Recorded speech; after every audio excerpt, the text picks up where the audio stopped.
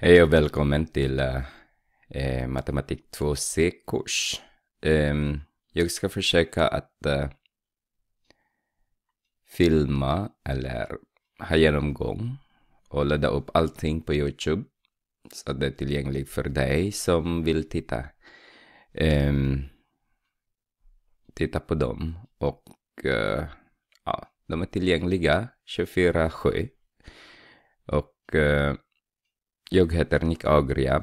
Jag är matematiklärare på Gislaveds gymnasium. Eh, ja, det här, den här kursen är baserad naturligtvis baserad på Matematik 5000 bok. Men naturligtvis du kan titta även om du har annan bok. Så du kan titta, det i princip de är eh, samma område som som jag ska ha i den här kursen, matte 2C, kursen i matematik 5000 och de andra böckerna därför att de har samma centralt innehåll och eh, uh, matte 2C har samma eh, kursinnehåll. Eh, I matematik eh, 5000 bok finns eh, eh fyra kapitel för matte 2C för kapitel 1 handlar om algebra och linjära modeller.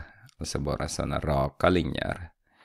Eh, kapitel 2 handlar fortfarande om algebra, men den här gången det är icke-linjära modeller. Där kommer ni att eh, prata om eh, funktioner som eh, undergradsfunktioner, potensfunktioner och exponentialfunktioner.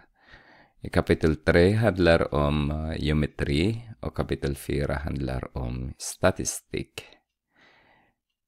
Och det här är 100 poäng kurs på gymnasiet.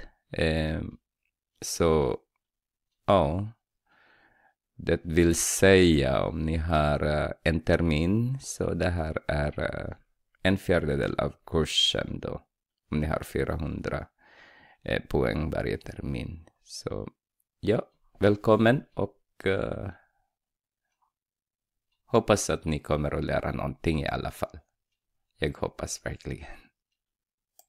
Eller den kanske är lite hjälp i alla fall. Ja, och uh, genom att uh, ni får titta på dem uh, när som helst.